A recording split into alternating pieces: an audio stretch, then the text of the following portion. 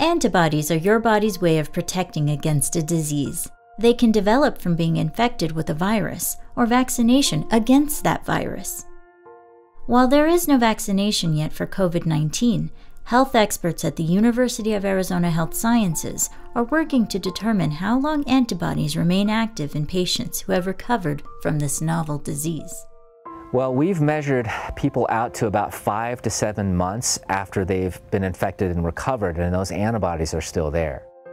There is no way to look into the future to determine how long these antibodies will last, but sometimes the past can act as a guide.